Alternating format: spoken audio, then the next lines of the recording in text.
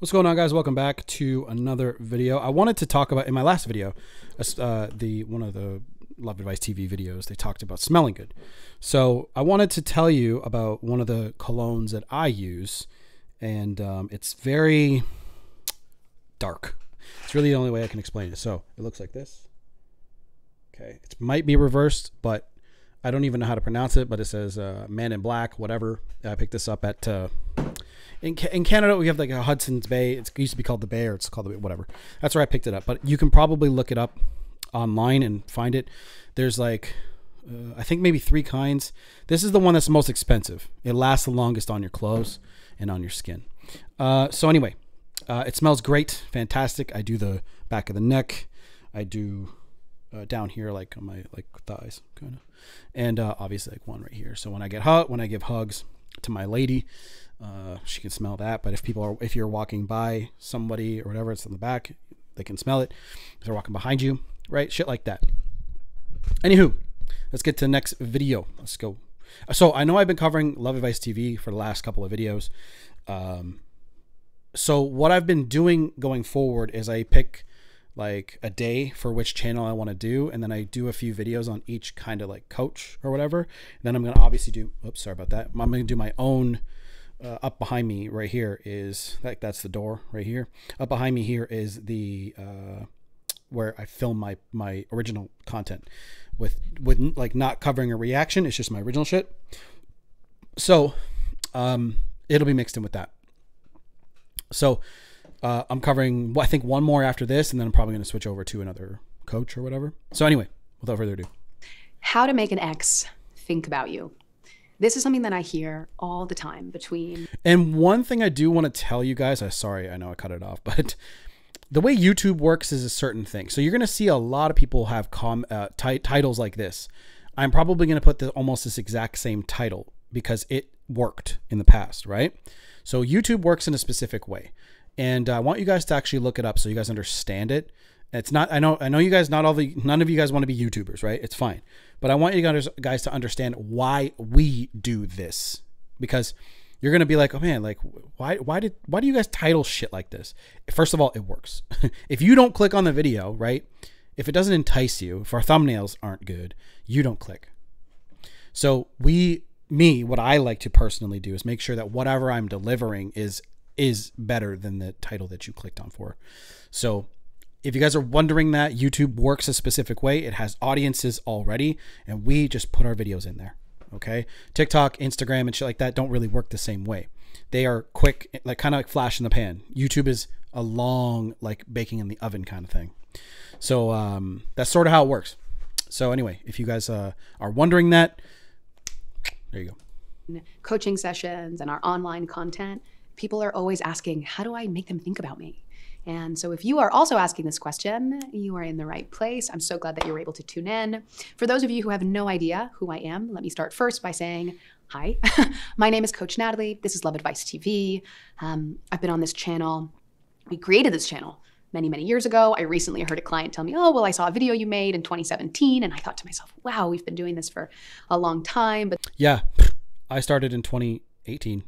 It's kind of nuts and um, I don't have nearly the amount of subscribers they do. But uh, fuck, man, like it's kind of crazy how fast uh, things can can can change. So um, work on yourselves. Work on yourselves. But this this channel from the start has really just been a way for us to share tips and tricks and thoughts and suggestions to help you navigate through relationship troubles. If you are in a relationship, if you are in a breakup, if you are trying to rebuild post breakup to re enter a relationship, any of these spaces are ones that we sort of focus on on this channel and our sister channel, Happily Committed. Happily Committed more so focuses on those who are actively in relationships.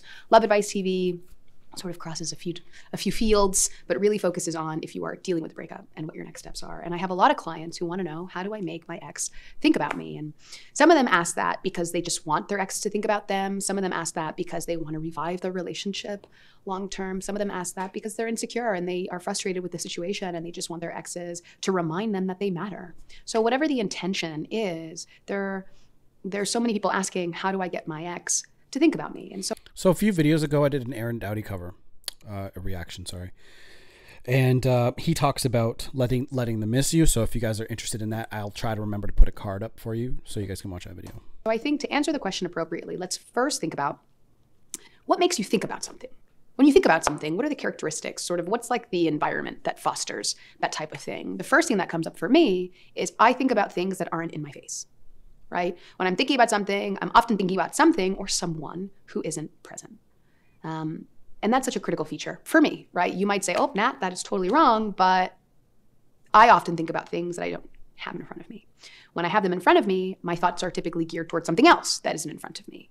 And so I think the same applies to relationships and to breakup territory. Giving your partner time and space to not have you in front of them actually provokes them to think about you more. And I think that's something that most clients really don't like. and I say this in coaching sessions all the time, right? They don't they want to skip the space part. People are like, "How do I bypass the space part?" You can't. Motherfucker, you can't. Everyone wants to get to the end goal without doing the work, right? Everybody wants to be absolutely ripped and jacked without going to the gym, without eating properly. And guys, you have to go through the work. If that person no longer finds you emotionally attractive enough to stay with you, okay, that means they're no longer attracted. They don't want to be around you. So you have to do the work on yourself. The one thing that you can control in this situation is that, is working on yourself. There's a book that you guys will be able to pick up you just literally Google this or uh, put this on in on Amazon. It's the Daily Stoic, and like I think on like page forty three or something like that, it is going to tell you like what is it that you can control. Okay, something like that. Uh, we what we control, uh, what we control, and what we uh, don't. It's on page seventeen. Sorry. So you guys can literally pick up this book and learn about um, like the idea and philosophy of Stoicism.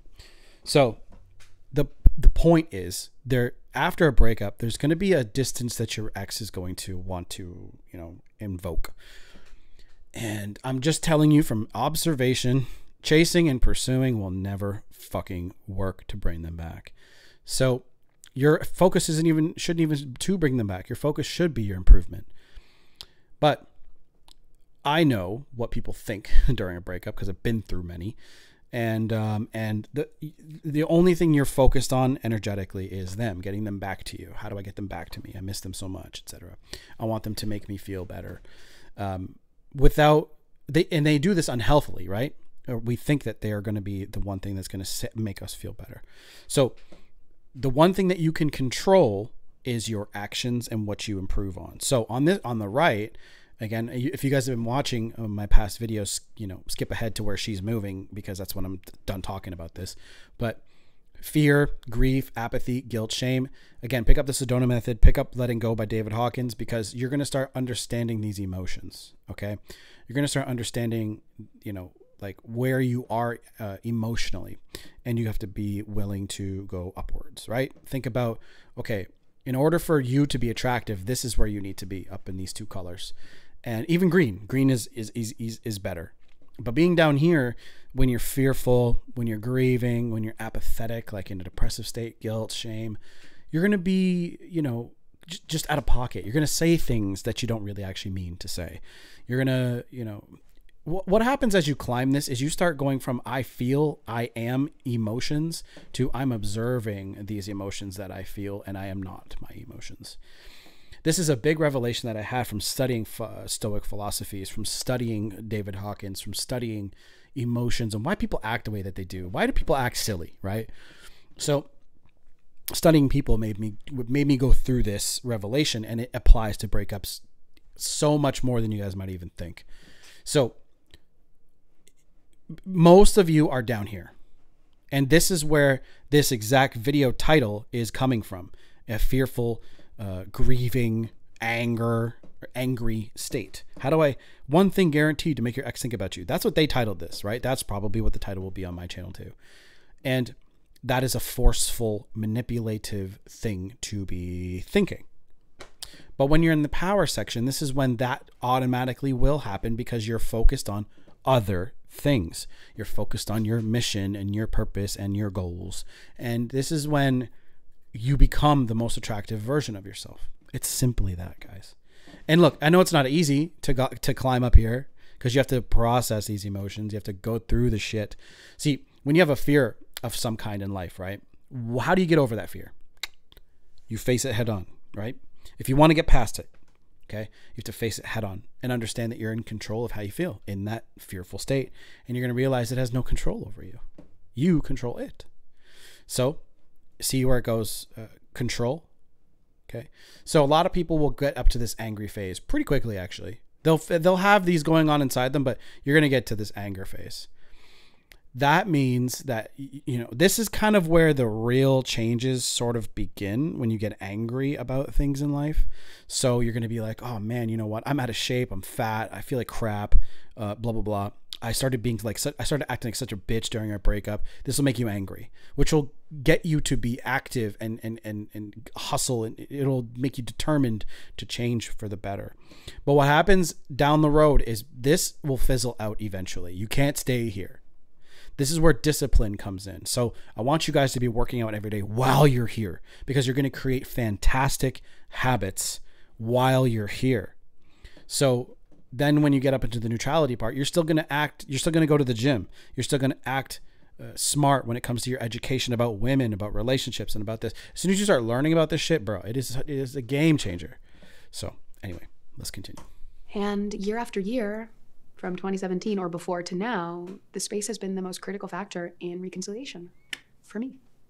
And space is just that powerful. And maybe that's why we don't like it. Maybe we don't like it because it is so powerful. And when we experience the power, we retreat and we say, nope, and we bail on space. But mm-hmm. if the mm-hmm. goal is to have your partner or former partner think about you, being out of sight is so important so that they can actually think about you. That's good advice. I know these guys push the whole idea of clean slate letters, but that's good advice. You know, I would even say the same goes for social media. I have a lot of clients who are going through breakups and they become compulsive posters on Snapchat and Instagram and any other medium that is sort of, you know, popular right now. And as a byproduct, their partner keeps tabs on them all day every day and sort of knows where they are. And I often tell clients, well, if your partner knows where they where you are, why would they text you? Right. And ask you how you're doing. They already know. They just went to your Snapchat. You Zero mystery. 30 things today. So I would say the same applies online, right? Don't start over posting because you're in a breakup. Don't start over posting because you're going through something. Because by over posting, you're over communicating. You are still very much available to them. And so you reduce the likelihood that they're going to think about you. And I think the last thing I can add, and, and for what it's worth, there's so there are a lot of videos on this channel that pertain toward longing, missing, you know, ways to spark thoughts of you. So I highly invite you to peruse all of those videos. We've got so many of them, thankfully, at this point in the channel's lifeline. But a final thing I also want to add is people are turned on by and interested in people who are out living their lives. And so, something that we talk about in this channel often and in coaching sessions often is the value of personal development and the positive impact personal development has on reconciliation efforts. If you want your partner to think about you, you also want your partner to think about the fact that you're doing things, things that maybe they would also want to do. People want to spend time with people who are doing cool things because they want to do cool things too. So, I think that that's such an added value. That's such a important feature to consider when you're thinking about how do I get them to think about me, um, and and also, what are they thinking about when they think about me? Do you want them to think about the fact that, you know, you're not doing well? Or that you're still compulsively thinking about them? Or do you want them to think, wow, she's she's she's up and she's out and she's living her life, or he's up or they're up and they're out and they're living their lives. And I think there's such a correlation between your personal development and living your life and them thinking about you and them reaching out to you thereafter. So I hope that this video has been sort of, you know, thought provoking and inspires you to say, okay, well, the most effective way to get someone to think about me is by not being available to them. The same applies to online. And since I'm not available to them, I am more available to myself. And what am I going to do with that availability? I'm going to grow. I'm going to write a clean slate letter. I'm to go do great things. I'm to make good choices. I'm to enhance who I am and the quality of my life. That is just the sexiest thing you can do. It is something I hear prove to be successful from so many clients in situations like this, where they want their partner to miss them, where they're in a breakup and they're having a difficult time. So I hope that all of that is inspiring and helpful for you. If you have questions, if this doesn't make any sense, if you are. It makes sense. So basically, guys, you have to. it's, it's what I was just talking about Focus right here. Okay. Now, this is the emotional side of all this stuff. So write down, you know, it can be a piece of paper whatever. Write down what you should. I think personally, you guys, especially the men, you guys should fucking be slamming the gym every day. Sometimes twice a day. I don't give a fuck. Be in the gym a lot. You're going to create a fantastic habit doing that. It's going to make you look good. It's going to make you feel good. Even though you're going to be feeling down here most of the time during the breakup, there will be a point where you stop feeling like this as often and as intensely. See, a lot of people don't talk about that, but the intensity of the emotions is going to come down. It will eventually. You just have to just use this energy and the time that you have right now to make an impact, to make a dent, to make a change, to focus. Okay. That is what this is for. So if you guys want to download this, you just have to look up Hawkins scale of conscious or levels of vibration on um, on um, in Google and download this. I'll probably put this. So I have a Discord for my Red Pill channel. I'll probably put this there. Um, I should set up a Discord for masculine energy, but I don't. A bunch of I've done a group before, and what I what I might do is I might make it so you guys can't talk amongst each other because holy shit, it a bunch of brokenhearted people end up fighting with each other. It's nuts. It it's it's an awful thing. Um, but I'll probably put in the red pill channel. But anyway, you guys can down you can you can find this on Google and download it. There's plenty of uh, different ones. I'll see you guys next video. Coaching is in the description box down below.